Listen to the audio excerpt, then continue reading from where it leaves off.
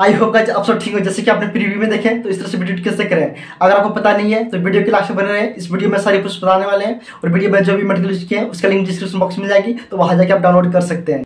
तो चलिए वीडियो को शुरू करते हैं। इस टाइप की वीडियो करने के लिए सबसे पहले आपको डिस्क्रिप्शन बॉक्स में आ जाना है। वहाँ पे आपको एक स्माइल फ़ाइल मिल जाएगा। आपको इस पर क्लिक करना है। क्लिक करने के बाद आपको यहाँ पे गूगल ड्राइव पे आ जाना है। तो चलिए गूगल ड्राइव ओपन करते हैं। गूगल ड्राइव पे आने के बाद आपको यहाँ पे एक फ़ाइल मिल जाएगा, आप उस पर क्लिक कर देना है। जैसे आप इस पर क्लिक करेंगे क्लिक करने के बाद आपको यहाँ पे थ्री डॉट का ऑप्शन मिलेगा, उस पर क्लिक कर देना है। क्लिक करने के बाद आपको यहाँ पे सेंड ए कॉपी का ऑप्शन मिलेगा, आपको उस पर क्लिक कर देना है। जैसे आप उस पर क्लिक करेंगे, आपको यहाँ पे ऑल आइट मोशन का ऑप्शन मिल जाएगा। जैसे कि यहाँ पे आ चुका है तो आपको उस पर क्लिक कर देना है। यहाँ पे क्लिक कर देना है।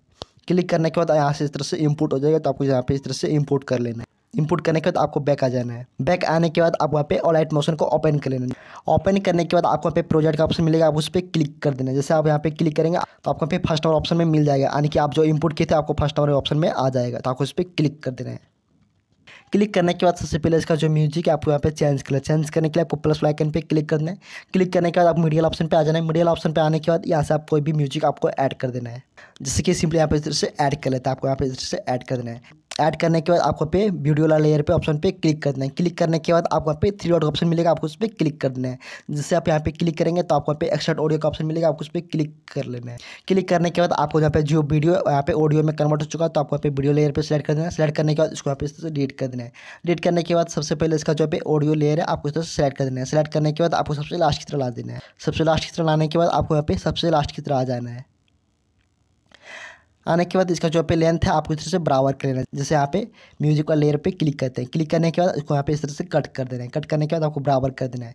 बराबर करने के बाद इससे पहले जो पे ऑडियो साउंड था, यानी कि जो म्यूज़िक था, उस पर आपको क्लिक करना है। क्लिक करने के बाद उसको यहाँ पे डेट कर देना है। डेट करने के बाद आपको पे प्लस लाइकन पे क्लिक कर देना है। प्लस लाइकन पे क्लिक करने के बाद आपको मीडियल ऑप्शन पर आ जाना है। मीडियल ऑप्शन पर आने के बाद आपको पे फ़ोटो ऐड कर देना है। ऐड करने के बाद आप आपको पे मूव एंड ट्रांसफ़र ऑप्शन पे आ जाना है। आने के बाद इसको अच्छी तरह से यहाँ पे एडजस्ट कर लेना है। जैसे आप थोड़ा सा जूम कर लेते हैं, आपको इस तरह यहाँ पे जूम कर लेना है। जूम करने के बाद आपको अच्छी तरह से इस तरह एडजस्ट कर देना है। एडजस्ट करने के बाद आपको यहाँ पे से डायरेक्ट बैक आ जाना बैक आने के बाद इसका जो पे लेयर है, इसको सेलेक्ट करना सेलेक्ट करने के बाद इसको सबसे लास्ट की तरह ला देना है। इससे जो पहले यहाँ पे फ़ोटो था, उसको यहाँ पे सेलेक्ट करना सेलेक्ट करने के बाद इसको यहाँ पे डिलीट कर देना है। डिलीट करने के बाद इसका जो यहाँ पे लेंथ है, आपको इस तरह से इंक्रीज कर देना है। तो आपको यहाँ पे इस तरह से फ़ोटो वाला लेंथ आपको इस तरह से इंक्रीज कर देना है। इंक्रीज करने के बाद आपको यहाँ पे सबसे फ़र्स्ट की तरह जाना है। आपको यहाँ पे सबसे फ़र्स्ट में आपको रेड कलर का लेयर मिलेगा, आपको उस पर क्लिक कर देना है। यानी कि जो ग्रुप वाला लेयर है, आपको उस पर क्लिक कर देना है। क्लिक करने के बाद आपको यहाँ पे नीचे में एडिट ग्रुप का ऑप्शन मिलेगा, आपको इस पर सिंपली क्लिक कर है। क्लिक करने के बाद आपको सबसे लास्ट की तरह जाना है। सबसे लास्ट की तरह आने के बाद आपको यहाँ पे प्लस लाइकन पे क्लिक कर है। क्लिक करने के बाद आपको मीडियल ऑप्शन पे आ जाना है। मीडियल ऑप्शन पे आने के बाद आपको यहाँ पे सेकंड फ़ोटो ऐड कर देना है। ऐड करने के बाद आपको इस तरह से बैक आ जाना है। बैक आने के बाद आपको यहाँ पे फ़ोटो वाला लेयर आपको सेलेक्ट कर देना है। सेलेक्ट करने के बाद आपको सबसे लास्ट की तरह ला देना है।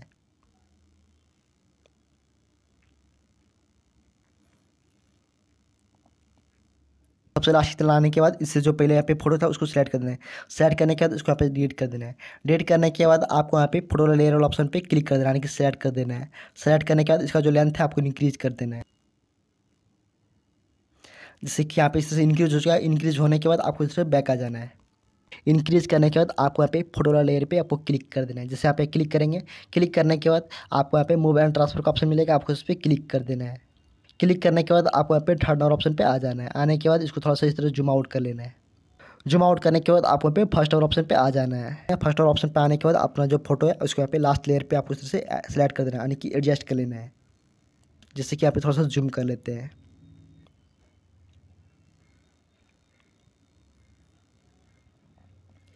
जूम करने के बाद आपको यहाँ पे इस तरह से अच्छी तरह से इसको एडजस्ट कर देना है। जैसे यहाँ पे इस तरह से एडजस्ट कर दिए, जैसे कि यहाँ पे जो मेरा फ़ोटो का फ़र्स्ट लेयर है, आपको इस तरह से एडजस्ट कर देना है।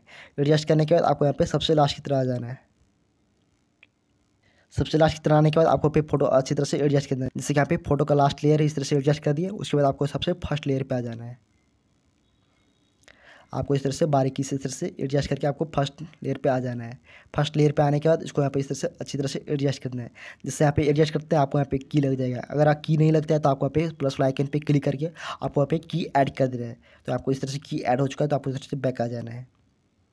बैक आने के बाद इसे जस्ट जो पहले आपको उस शेडोल ऑप्शन पे क्लिक करना है। क्लिक करने के बाद आपको यहाँ पे कलर एंड फिल पे आ जाना कलर एंड फिल पे ऑप्शन पे आने के बाद आपको यहाँ पे ब्लैक कलर का ऑप्शन मिलेगा, आपको उस पर क्लिक कर देना है। क्लिक करने के बाद अपना जो शेडो का कलर है, आप यहाँ से चेंज कर सकते हैं। तो आप यहाँ से कोई भी आप चेंज कर लीजिएगा। चेंज के लिए चेंज करने के बाद आपको इस तरह से बैक आ जाना है।